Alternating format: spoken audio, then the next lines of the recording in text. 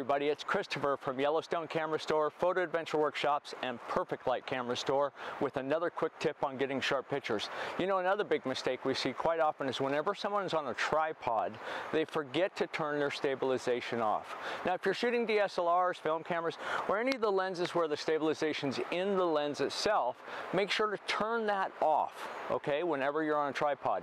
Now, on the mirrorless cameras, you guys, most of us forget that often we need to turn it off in the camera and the lens or at least the camera, okay?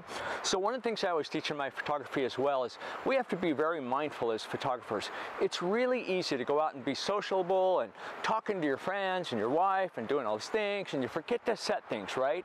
All of us do.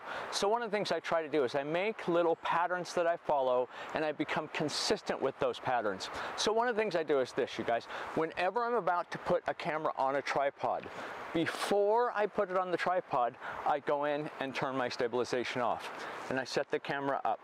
Then I worry about the settings. Now on the other end of that, when I am done shooting, before I take the camera off the tripod, I turn the stabilization, the stabilization back on, I take the camera off, then I'm on my way.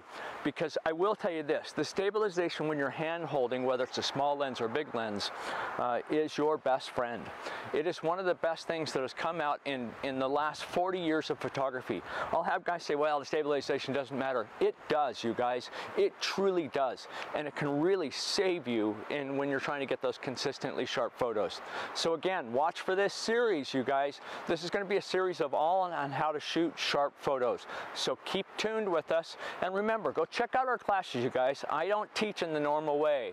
I don't teach what you're gonna see mostly online. I always joke with people that if you wanna have the latest editing techniques, I am definitely not your guy. Where I don't edit, what I, my job is to do is to teach you how to take the very, very best photo you truly can out of your camera. So go check out our classes, you guys. Love all of you. Thank you so much. See ya. Bye-bye.